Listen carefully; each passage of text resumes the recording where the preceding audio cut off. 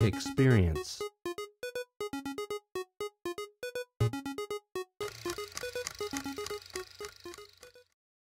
Welcome to Factory Direct Bikes Bike Maintenance Podcast. My name is Mike Jenner. I'm going to show you how to change a tyre and a tube. There are a couple of basic tools you will need to change your tyre and tube.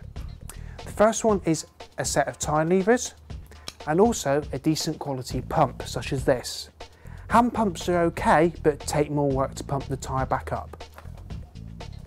So to change a tyre and a tube on a bike, the first thing you need to do is remove the wheel from the bike. On a quick release wheel, you drop the lever like this, undo the nut on the other side and gently tap it out of the fork. What you now do is remove the dust cap from the tube, undo any little nut that may be on your inner tube and gently release any remaining air. Also on this one you need to remove the retaining washer so that the tube can come out of the wheel. So taking your first tyre lever, insert it under the bead of the tyre and hook it onto a bicycle spoke. Take your second tyre lever, hook it under another part of the tyre. What we're now going to do is move the tyre lever around the wheel, loosening the first side of the bead. Like so.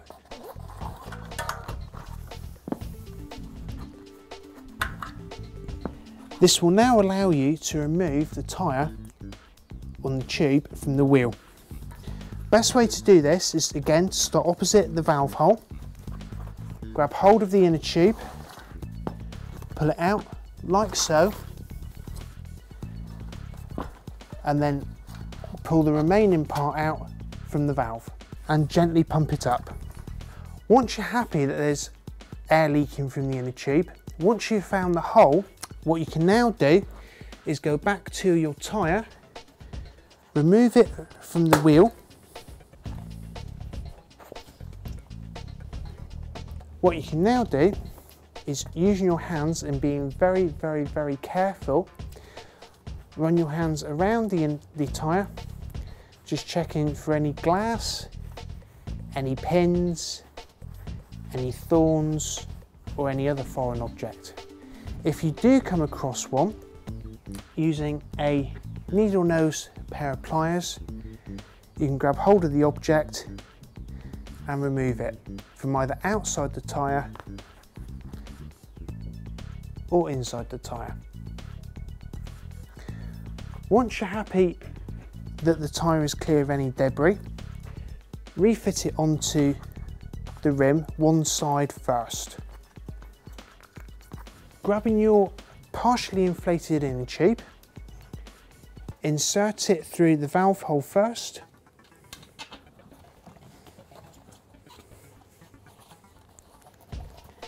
and then gently drop the inner tube into the tyre like so. Again, starting from the valve hole, gently drop the other side of the tyre in making sure you don't trap the inner tube like this and gently working both sides at the same time. When you get to the bottom of the wheel, again, making sure the inner tube is inside, push the remaining bead over the top of the rim. If you need to, use a tyre lever to help you, but again, be careful to make sure you don't pinch the inner tube. When you have your tyre and tube refitted to the wheel, grab the little silver washer and screw it back on. This will help to keep the tube in place as you pump it back up. Grab your pump grab your tube, making sure the valve is open. Put the pump on, like so, and pump to the required pressure. Generally on a mountain bike this is between 30 to 40 psi, on a road bike anywhere between 100 and 120 psi. Once your tyre is fully inflated, remove the pump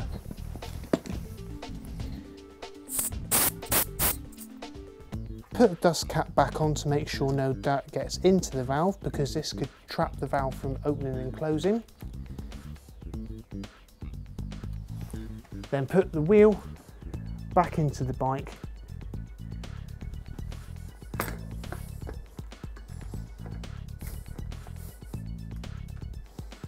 like so and close the lever.